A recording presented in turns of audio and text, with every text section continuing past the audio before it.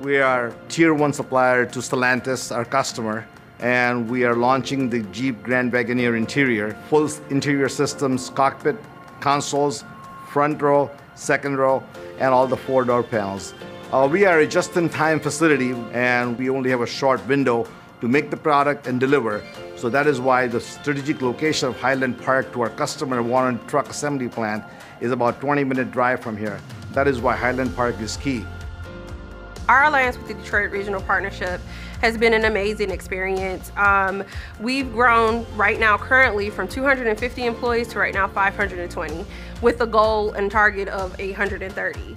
So our alliance with the Detroit Regional Partnership has definitely helped us find talent in pools that we probably wouldn't have thought to connect with. Highland Park and the surrounding area has good labor pool available. There's a lot of good skill set available.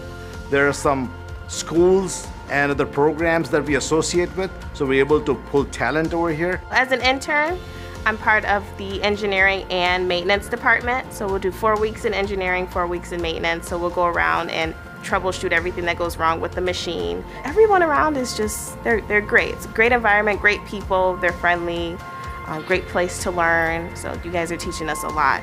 The relationship between Yanfeng and Upbound at Work Autism Alliance in Michigan is to not only provide awareness, but to get them access to an untapped talent pool that have been overlooked by their community and by other employers, whether they were unable to interview or they just acted a little bit quirky in the workforce. Prior to my opportunity at Yanfeng, I had applied to at least 800 different positions and had at least 10 different interviews with only one coming to fruition. I did find a partnership through uh, Autism Alliance of Michigan to uh, advocate on my behalf. While I may act strange, I am certainly capable of the work that you have available.